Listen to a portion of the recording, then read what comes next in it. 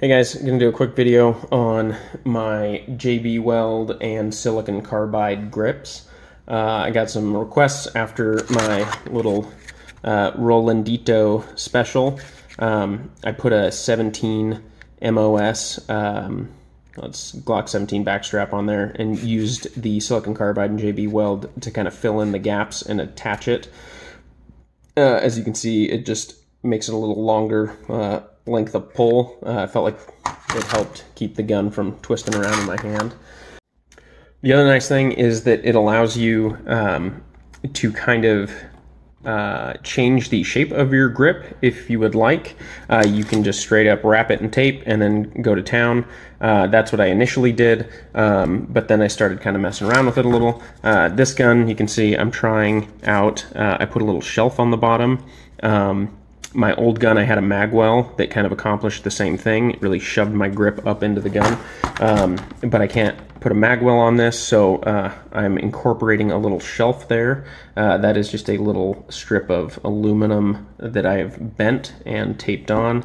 Um, but you can also, if there's areas where you want more grip, uh, or you want the grip to be wider, thinner, um, you can just put more of the material there and build it up in certain areas. JB Weld, I use the regular stuff.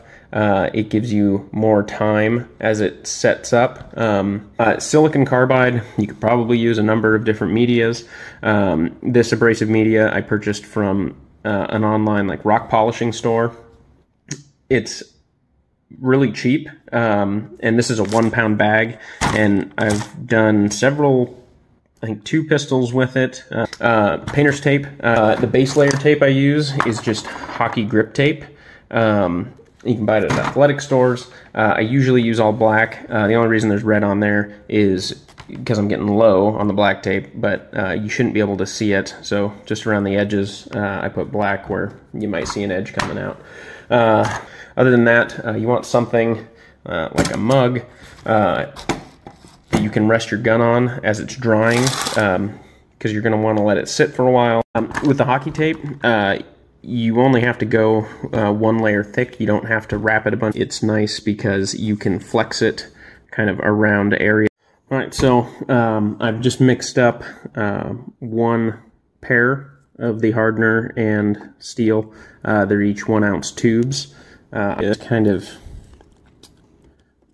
glob it on here. Uh, and then I just kind of brush it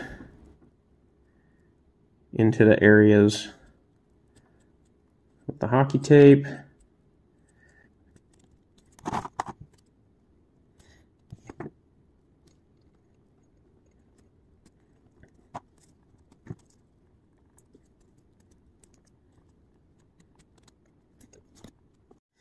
All right, so I've got it on there very thick.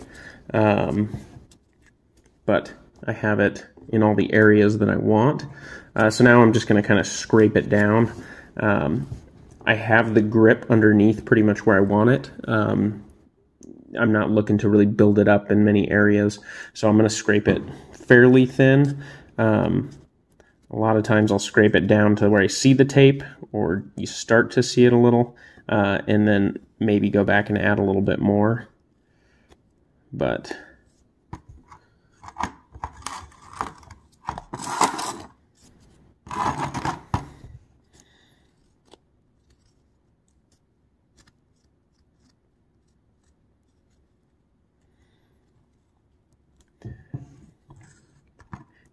you do want it to be somewhat thick, uh, just so that the silicon carbide um, or whatever media you use uh, has room to be pressed into the JB Weld.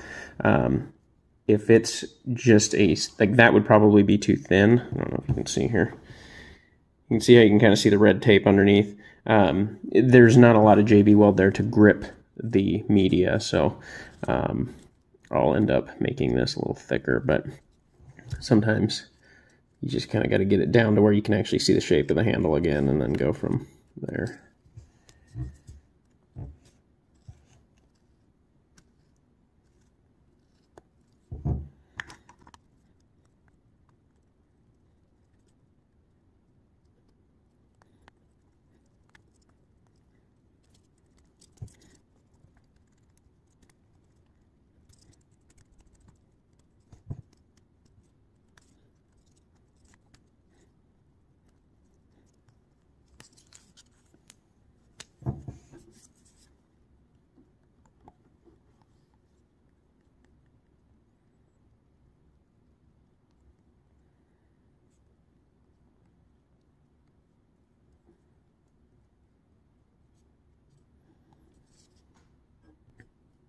You. Uh, so here's silicon carbide. Uh, basically, just like in kindergarten, we're just gonna pour it on. Let's see if we can get in a little closer here. But yeah, basically, I just dump it on there. I put it on pretty thick, uh, and then I will press it in. And I'll end up doing this a couple times, um, but I really want that. Um, stuff pressed into the JB Weld. I don't want it just sitting on top of it. I kind of want it to work its way in. So um, you can see, boom. We'll come around to the other side.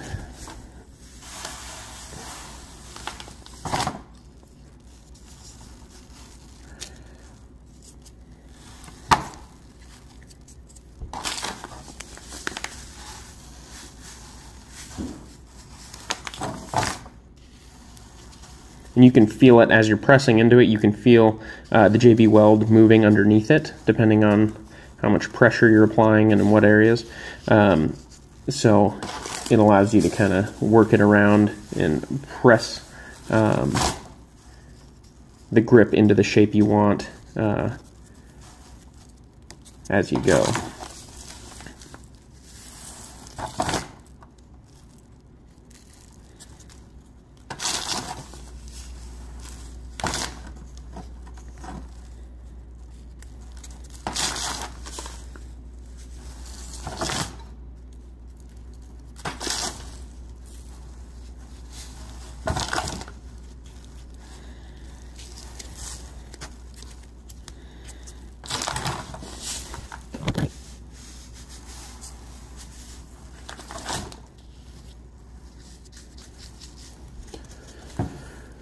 So like I said, you can push it around. Um, you can see, maybe you can see, like right here, I got a little ridge right here. Uh, if I press it, um, one, it's pressing in. You can see now there's some JB weld there visible because I pressed it down pretty firmly. Um, but that ridge is gone. So um, you just kind of have to play with it. Um, I will uh, just keep applying this stuff on and just pressing it and then eventually it really won't be able to hold anymore. Um, the JB weld will be like totally saturated, um, which is kind of what I'm looking for. It kind of creates like a Play-Doh-ish substance. Um,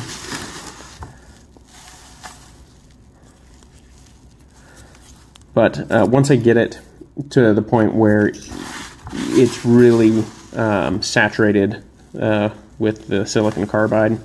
Um, then I just kind of start working from the top down, uh, pressing and rolling the material, uh, and that'll work all that excess uh, JB weld underneath that I don't really want. Uh, that'll kind of work it down. So just just kind of roll with my thumb. I'm pressing it in, and it's kind of working that uh, excess JB weld kind of down to the bottom. So um, and then as you do it, it'll push it into other areas, so you kind of have to do it from different angles and go over it in different directions, but this seems to work pretty good.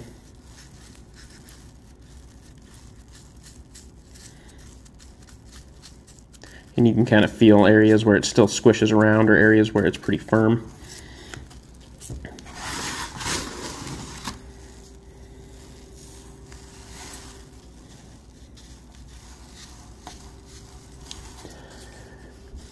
And so you'll start to get, like you can see here, this is a buildup. So this is kind of an excess of JB Weld and uh, the silicon carbide. So a lot of times you can just kind of roll it, brush it out of there. Um, and then now we have kind of a bare spot. You can see that. So you can just add some more, press it in, good to go. So, um,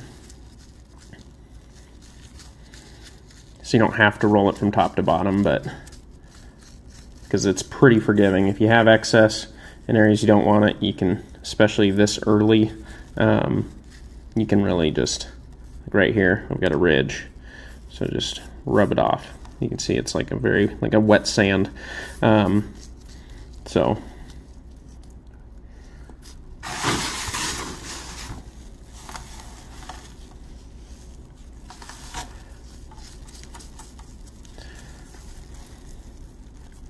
So I got a lot of buildup back here. You can see I've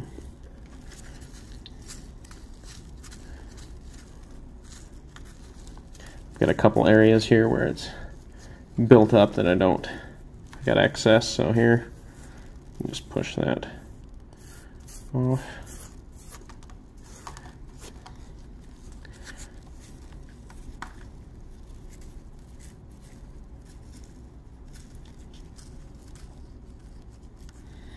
Things to consider.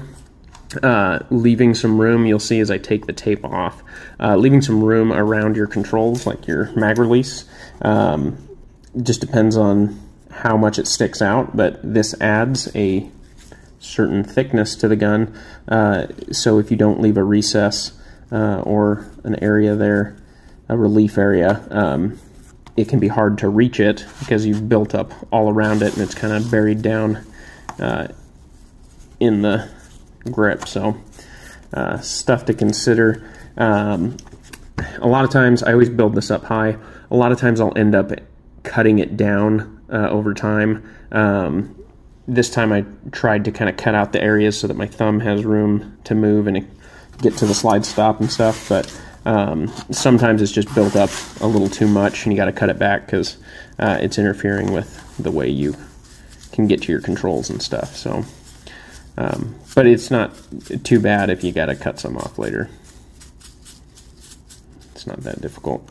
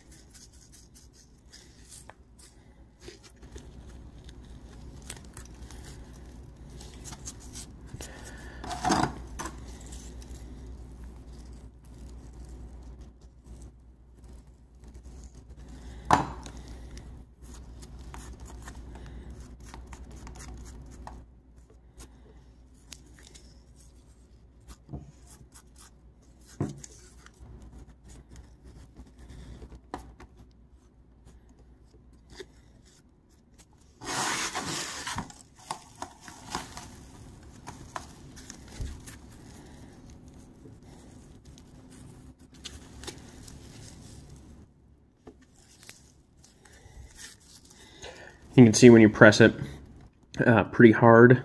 Uh, again, there's that JB weld that's kind of being forced out. Um, so you can just kind of apply more and go from there. But it just takes a little working, um, just figuring out the areas where it's built up, where you got excess, um, kind of where you want to take it from, where you want to push it to, that kind of thing. Um, but it's pretty forgiving, especially at this phase. And the nice thing is that the JB Weld, um, just by itself, uh, will really run on you. Um, but once you start mixing in this media, it turns it into more of a sandy, uh, wet sand um, type consistency. Um, and it really holds up well. So it doesn't sag on you, it doesn't bleed on you. Um, unless you have a lot in a certain area, but for the most part, um, it'll hold its form pretty good.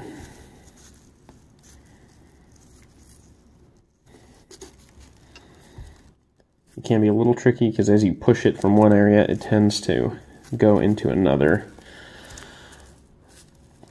So right here, I'm pressing it down to get this uh,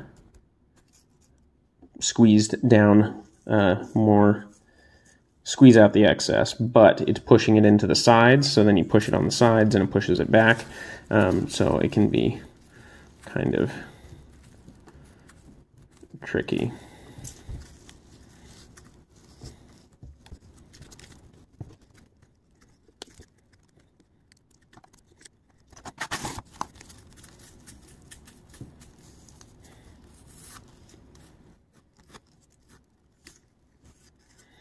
One thing too is if you're trying to build up stuff like that shelf, um, you lose a lot of definition with this. So um, earlier I had it uh, a more subtle bump, um, but then I beefed it up a little bit because once you add this, it really does fill in a lot of the little gaps and stuff. So, um, like if you're trying to put finger grooves or something up here, um, just remember that this stuff is fairly thick um, and it'll take a lot of definition out. So you kind of got to make some of your features a little more prominent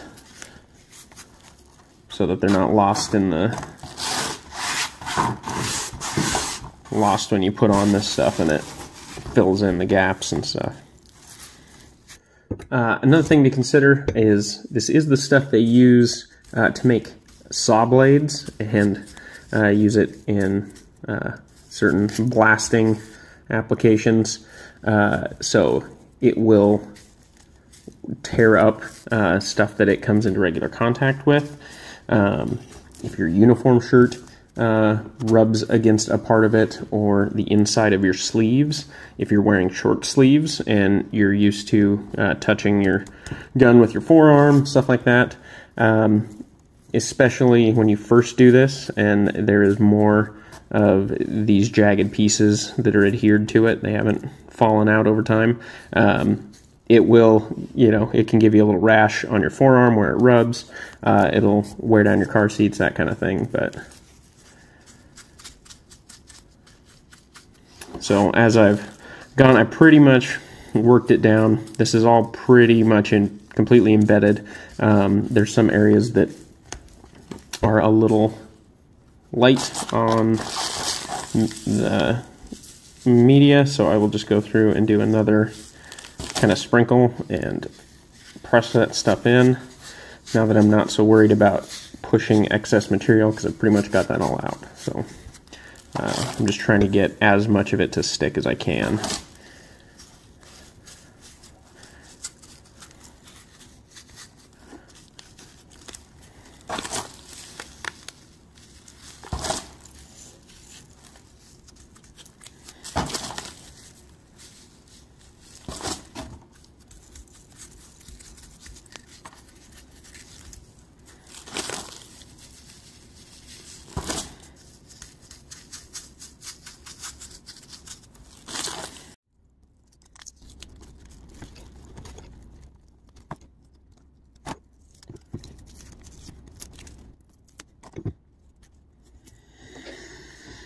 And uh, you want to give yourself some room around the controls like I said. Um, you want to make sure that there's enough of a relief there that it doesn't block um, and then it's still you know moldable so uh, sometimes the edges will kind of get pulled away from the gun when you're peeling the tape up. Uh, sometimes you get some loose strands uh, but you can just kind of poke them into where you want.